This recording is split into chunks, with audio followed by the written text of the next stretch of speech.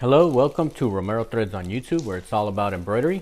In today's video, I'm going to dissect and analyze the New York Yankee hat. All right, so we have a fresh, brand new, straight out the box. So this is a 5950. kind of put this here. So we got an authentic New York Yankee hat.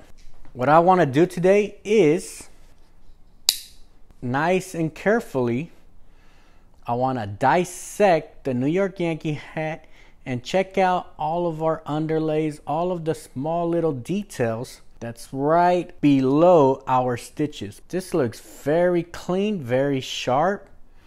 Okay, so let's see this. All right, but what I want to see is I want to go ahead and dissect it, reverse engineer, and then we're going to analyze the method, how they went about creating these stitches. This is what we see. This is the final product that we see. As embroiderers, we know there's a lot of behind the scenes happening here. So let's go ahead and let's carefully cut our stitches. So I have a brand new clean blade right here. All right, so this is gonna cut nice, nice and simple. Let me position myself. Let me see. Let me get a good view for you. Nice and easy. All right, we got a good cut there. Check this out just so we can see what's right below this. Okay, so, so far, let's analyze this. Okay, we got that initial cut. Right, I'm gonna clean up this area right here. Quick little buzz here. There's something that I'm noticing, but I want to confirm once I cut this off here. So right away when I cut this layer, so I noticed that I didn't see the foam right away. Okay, so it looks like I cut one layer and then there's still another layer of thread right below that. Okay, so it looks like they they probably went a double run.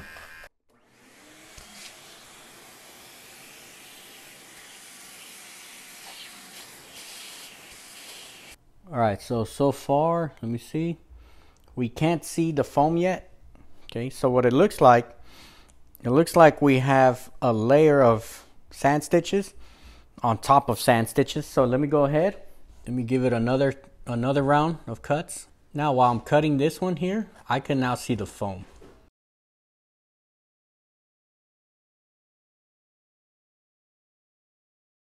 All right, so, so far, I'm gonna also take a picture of this so we could get a better look. But for right now, you can see our running stitches here. And then you can see our capping here at the corners you can see a lot of little small techniques that they use in order to keep that foam nice and tight plugged in right here. All right, so I think you could see it right here. All right, so far here you can see this bridge. All right, we do have a bridge here. Here the end, so I can see this nice clean taper down here. Okay, and here it's kind of pushing in. So I'm gonna clean it up and then we're going to take a picture and analyze this very, very closely.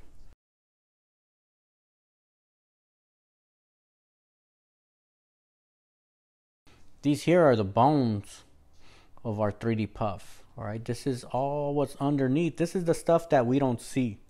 So, so far what I've noticed, okay, it had like two layers of satin stitches. Okay, it had one, when I cut it off, there was still satin stitches be, below the satin stitches on top. So that's why I think you get this nice bold look on the Yankee logo. Here you can kind of see where we taper in, okay? And you see these bridges here. It's kind of like a cap slash a bridge. All right, here we see our caps. We see our capping here, okay? Very traditional type capping. See that? We have our capping here. So here we got our capping also, okay?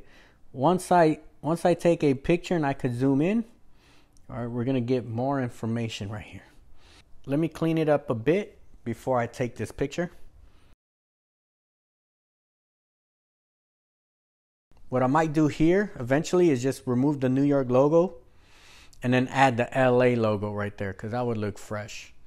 I went ahead and took pictures of our hat. So this is right before I cut it up. Okay, so here's a good view of how it looks. Super zoomed in. All right, so a lot of times if you take a picture and you zoom in, then you can get a good look and see exactly the directions of our stitches. You could kind of have an idea how we have stitches on top of stitches. All right, and here at these corners up here,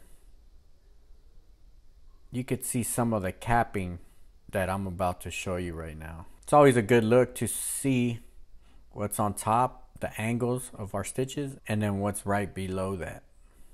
All right, so this was as soon as I cleaned it. Okay, here now we can see what's underneath our stitches. So you can see here, let me kind of adjust this color here a bit. Okay, I could make it a little brighter. Um, let me bring the highlights down a bit just so you can see. All right, just so you can see our stitches a little bit more clear. Let me mess with the shadows here.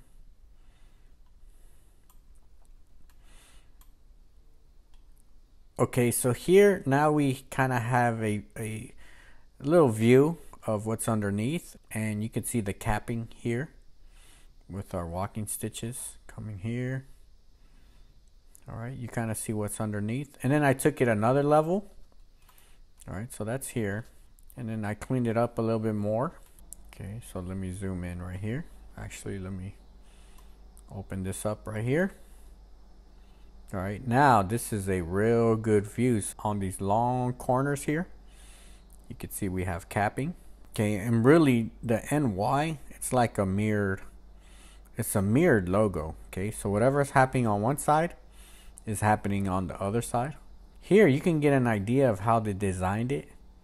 All right, so what I'm focused on is the capping. And what I wanna do, I wanna make a part two where I'm digitizing it and recreating this logo All right, Of course, you can always recreate it. I've seen people recreate it um, with no problem. Okay, but there's always little details that you can find that's never, never the same. But here, you kind of get an idea of how they go about getting that nice, clean coverage. All right, this is a, a different angle here.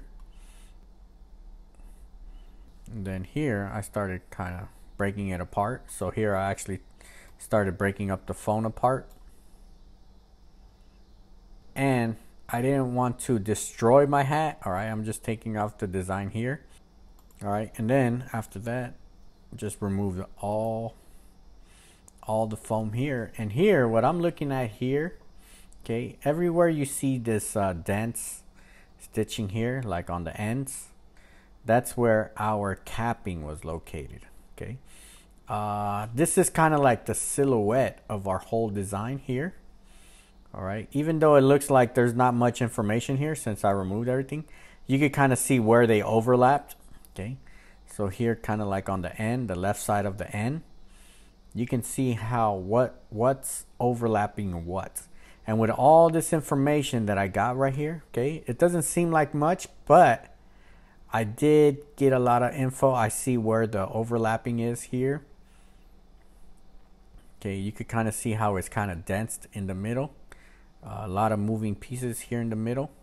You could kind of get an idea of how it was digitized. All right, so with all that information, starting back from the beginning, all right, so we're going in reverse, reverse engineering this. So this is how we start. Okay, this is the final product here. All right, so we got a lot of good information by cutting it up. Okay, so we kind of see how everything is being played out here until we get to here. So I'm definitely going to make a part two where I am recreating the logo and digitizing it and stitching it out onto a hat. Okay. And of course, I'll put it up for free download too once I design that. All right. So be on the lookout for that one.